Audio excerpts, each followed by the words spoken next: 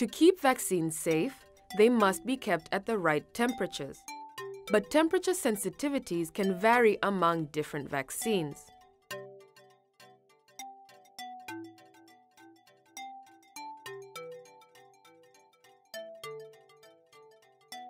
Why do temperatures matter? Vaccines are sensitive products. All vaccines are sensitive to heat. Some are sensitive to freezing and others to light. Take OPV, which is extremely sensitive to heat. When this vaccine is exposed to temperatures above 8 degrees Celsius over time, it loses its potency. That means it becomes less effective at protecting a child from polio. This change in the vaccine is irreversible. What are the correct temperatures for vaccines and diluents? At district and health facility levels, all vaccines, whether they are liquid or freeze-dried or lyophilized, should be kept between 2 degrees and 8 degrees Celsius. They can be stored for up to a one-month period. This does not change when a vaccine leaves a facility for an outreach session. Vaccines should remain between 2 degrees and 8 degrees Celsius before, during, and after a session.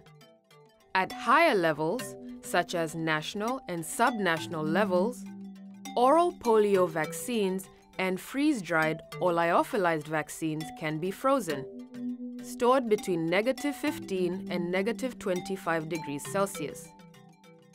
We've covered vaccines, but what about diluents? A diluent packaged with the vaccine should be stored in a refrigerator between 2 and 8 degrees Celsius.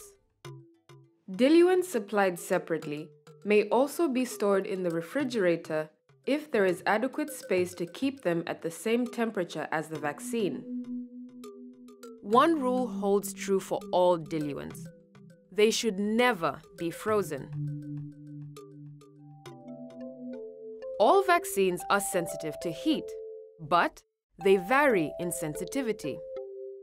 Vaccines are grouped into six categories to describe their relative sensitivity. Those in Group A are most sensitive to heat. Note that the heat sensitivity shown for freeze-dried vaccines applies to unopened vials. Once they are reconstituted, they lose potency quickly. For example, BCG vaccine is not one of the most sensitive to heat before reconstitution. But after reconstitution, it is one of the most sensitive to heat. While all vaccines are sensitive to heat, several vaccines are also sensitive to freezing. These vaccines should be protected from sub-zero temperatures, which means they should never be placed in a freezer or a carrier with frozen ice packs. If they are exposed to freezing temperatures, use the shake test to see if they have been damaged.